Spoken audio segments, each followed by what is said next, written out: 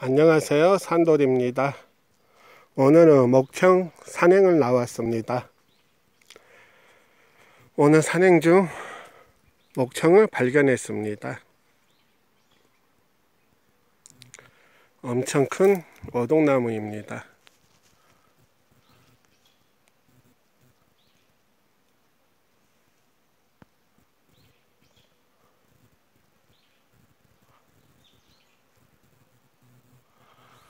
목청이 참 많이 들어있을 것 같습니다.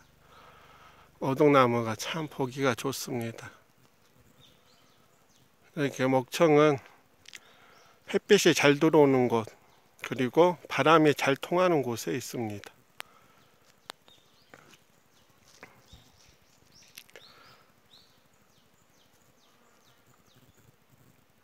이야 세력도 참 좋습니다.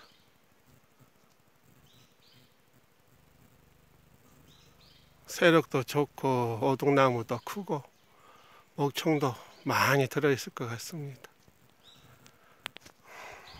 너무 기분이 좋습니다.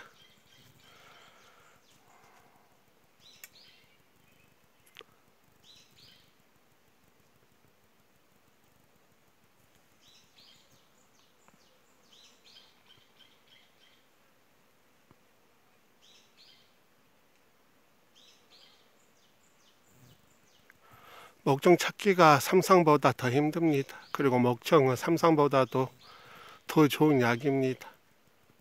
시중에서 1.2kg에 50만원씩 팔리고 있습니다.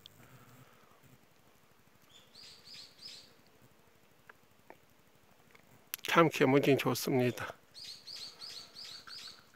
이상입니다.